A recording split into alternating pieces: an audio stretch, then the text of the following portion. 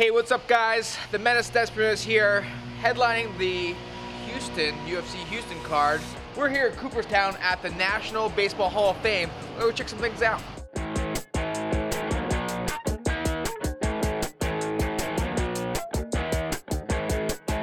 So this is obviously the Hall of Fame plaque gallery. This is where we honor the game's greats. So when people come here, is there a certain plaque when they come into this room that they're like, Oh, yeah. I want to see this guy. He is. Yep, that's Favorite, what- right? exactly right.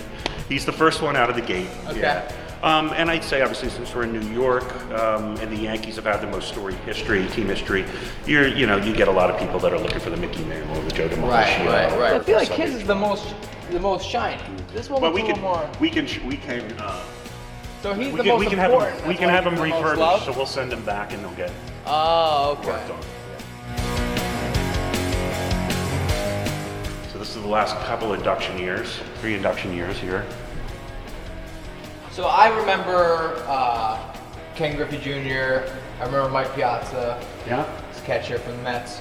Now, what makes? At what point can a player be eligible to become to be in the Hall In of the Fame? Hall of Fame? Yeah. So you have to be retired, you have to play for 10 seasons minimum, Okay. and you have to have been retired for five years. And so that sixth year after your retirement is the first time you're up for election on the ballot.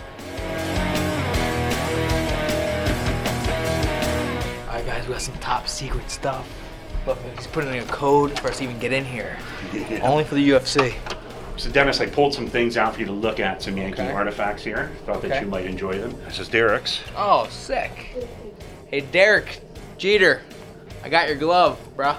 So this would be the 20s, and this isn't just anybody's first baseman. so This is a Lou Gehrig first baseman. Oh, wow, I know that name.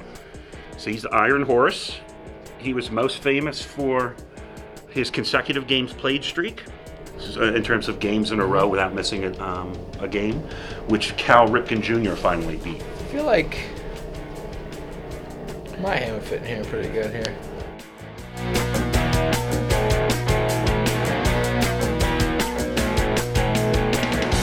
One of the things you may not know about me, like when I get my own exhibit, the UFC exhibit, yeah, UFC, yeah. in the future there'll be a Guinness Book of World Records plaque. You're the world's fastest, what, time drinking a liter through a straw? Is that what it was? Lemon juice, straight lemon juice. So if you want to battle me, get two liters, two straws. We'll do this.